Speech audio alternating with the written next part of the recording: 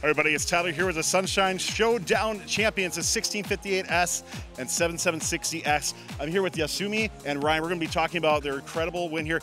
I mean, insane finals back and forth. I hope you got a chance to watch it here on Fun and incredible process all the way through. So, Yasumi, looking at uh, qualification matches, I mean, it was really kind of up and down, but your team, I love the metabot that, that your team brings. It's like we haven't seen too many robots with that. What has made you just want to continue with that design to be so successful?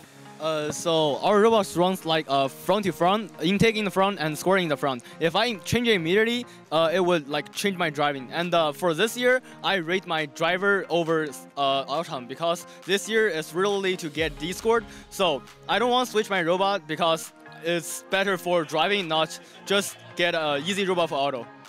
And, and, looking at you know going into alliance selection modes, why was uh, 7760X such a great alliance uh, partner for you?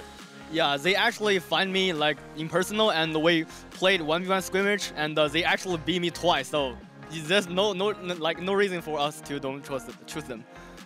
Ryan, looking at uh, playoff matches just kind of starting out, what were some of the initial conversations like uh, with uh, Practice Years 2.5? Just what was some of the initial strategies and any conversations that went on between you?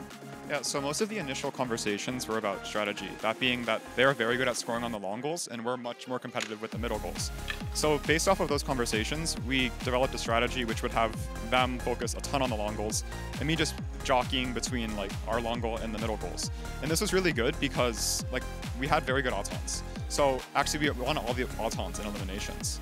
So knowing that we could sacrifice or at least go even in one of the long goals and control the middles in the other, we knew we would have a very good winning strategy based off that. What do you think was your toughest match going uh, up in the finals? So between 16 uh, quarterfinals and semifinals, what was your toughest one? Uh, definitely semifinals, and the main reason for this was before every uh, match, we would take a look at our opponent's autons, usually just through live stream or um, just watching them on the field. But with the semifinals, it was a little bit different. We didn't have that time to watch them, so we were kind of going in blind, facing them in Auton. It ended up working out, but it was kind of a scare that um, we would have wished to not experience. Fair enough on that. Let's talk about finals a little bit.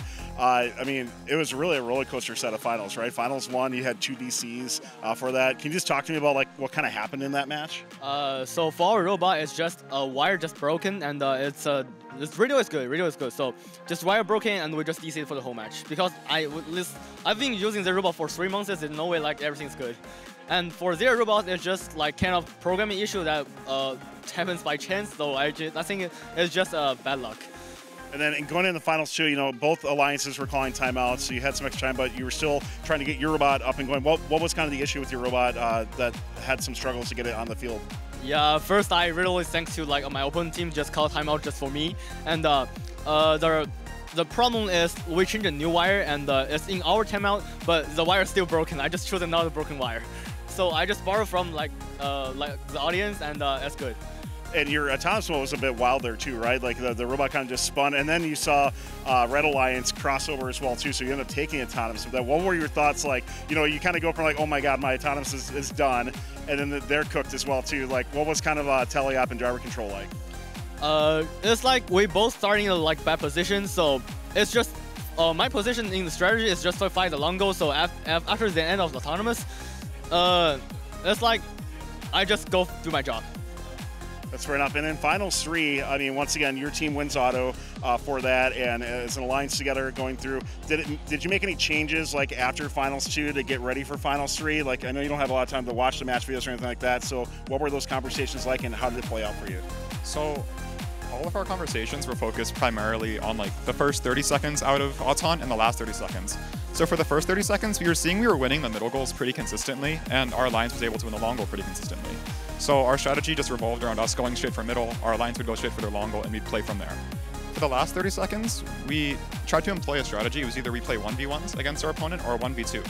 So if we're down one long goal, um, actually, if we're on both long goals, then we're both going to go for one of the long goals together, and hopefully we can win that back. And just if we've won Auton, that should hopefully give us the amount of points we need to win. I think this is a fantastic alliance that worked together here. So once again, 7760X and 1658S. Congratulations going to Vex Worlds, and we can't wait to see them there. And good luck throughout the rest of the season. Thanks a lot. Thanks for watching. Don't forget to like, subscribe, and click the bell to stay up to date on future fun videos.